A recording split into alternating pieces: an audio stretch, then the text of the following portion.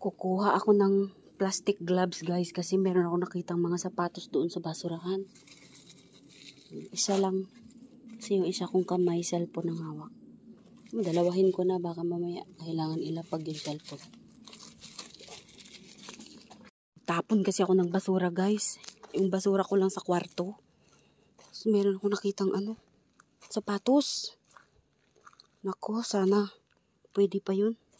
Eh, kinuha ko yung cellphone ko kasi iba-vlog ko. Oh, kasi nga vlogger ako, di ba guys? Yung basura namin guys, holiday. Walang tapon. Walang tapon kasi sarado yung mga tapunan dahil nga holiday chusok dito guys. Ayun guys, so nakikita nyo ba? Yan, nakabox. Kaya kailangan mag-gloves ako. Wait lang guys. Mukhang naka-jackpot na naman tayo guys.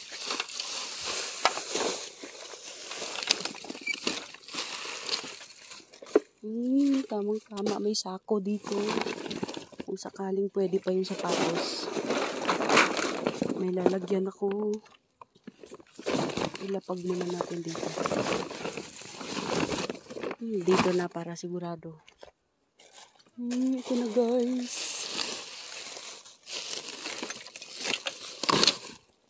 May bota.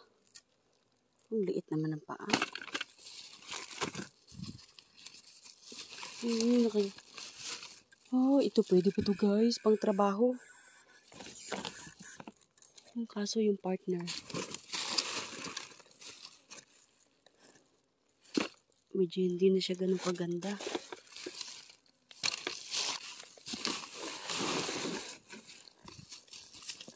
Yung sinadya na talaga itapon. Ito pang trabaho ko.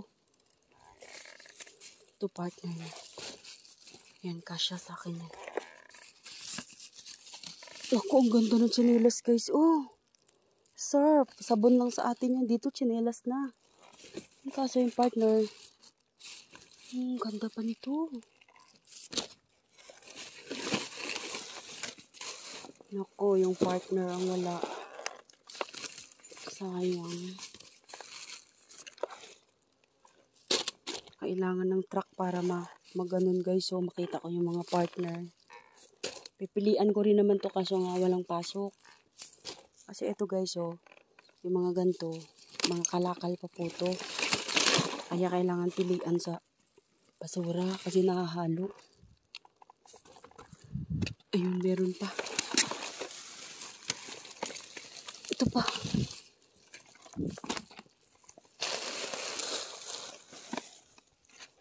Ay, nako. Nako, sayang guys. Oh, ito maganda oh.